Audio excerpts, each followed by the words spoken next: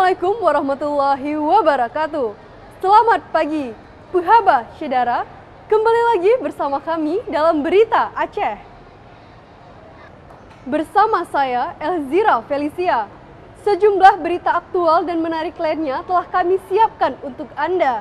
Berikut tiga pilihan berita utama pada pagi hari ini.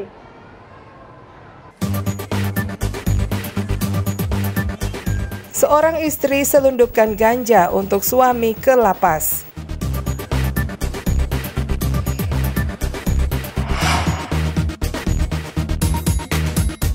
Pertamina klarifikasi tangki solar ilegal.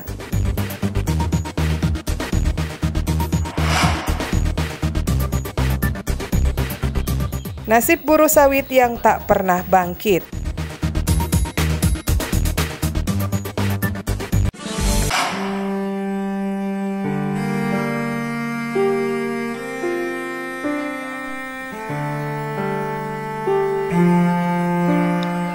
Kondisi buruh penderes getah di kawasan Aceh Timur nyaris tak berubah. Selain upah kecil, tidak ada tambahan tunjangan atau fasilitas kesehatan, termasuk buruh perusahaan perkebunan PT Bumi Flora, Desa Jambo Rehat, Kecamatan Banda Alam, Kabupaten Aceh Timur. Anak-anak buruh yang bekerja pada perusahaan ini terlantar dan tidak memperoleh pendidikan. Demikian juga dengan kondisi para orang tuanya yang tak sanggup menafkahi mereka karena minimnya pendapatan. Nasib Natimin dan Lilik Susanto misalnya, warga Kecamatan Ranto Perlak, Kabupaten Aceh Timur. Senada dengan buruh lainnya, mereka telah bekerja menjadi tukang penyadap karet di PT Bumi Flora masing-masing selama 12 tahun. Namun hingga kini masih berstatus sebagai buruh harian lepas tempat tinggal mereka pun sangat memprihatinkan. Selain kondisi yang sudah rusak dan lapuk tidak terawat, barak tersebut juga tidak tersedia listrik. Pihak perusahaan tidak mempedulikan kondisi mereka, baik itu tentang kesehatan maupun kesejahteraan para buruh. Selama kerja di sini ya udah 12 tahun ya kan. Iya. Ya gini-gini aja lah kerjanya.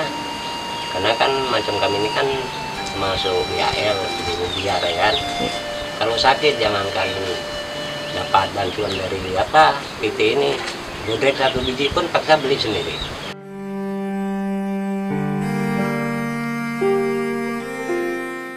Jika sakit, Lilik Susanto harus mencari obat sendiri dan tidak ada jaminan apa pun dari pihak perusahaan. Karena rata-rata mereka bekerja tanpa ada perjanjian dengan pihak perusahaan.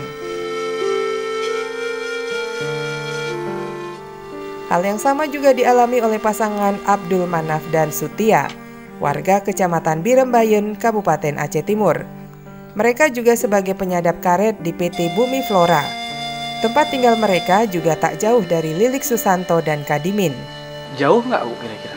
Jauh dong. Jauh. Jauh. Ada berapa kilo ya?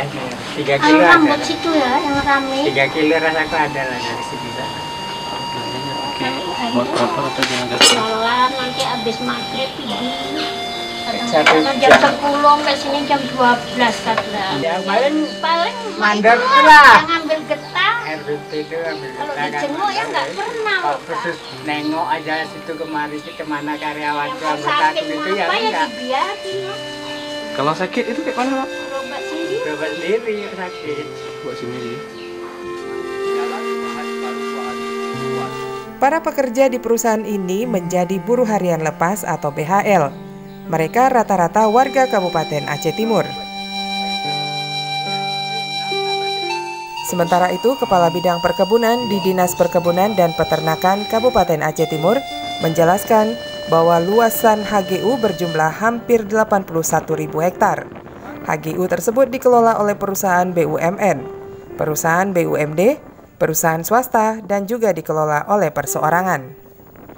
Eh, rata-rata uh, mereka tidak tertib dalam memberi hak-hak ketenaga kerjaan sesuai dengan peraturan, yaitu terkait pemberian upah rata-rata hampir di bawah UMP, terkait uh, konflik pertanahan, konflik antara uh, pemilik HGU dengan pemerintah kampung, lahan kampung.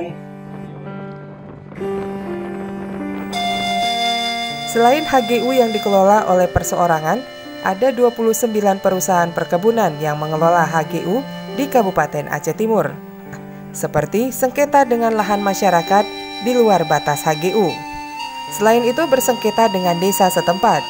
Upah karyawan yang tidak sesuai, bahkan sering terjadi dugaan praktek perbudakan. Pihak perusahaan perkebunan juga tidak pernah terbuka saat memberi laporan dengan pemerintah setempat.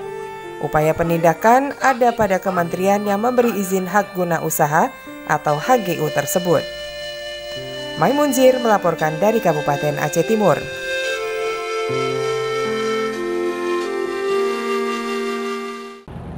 Informasi tadi sekaligus menutup perjumpaan kita pada pagi hari ini.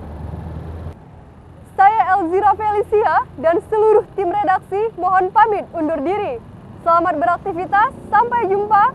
Wassalamualaikum warahmatullahi wabarakatuh.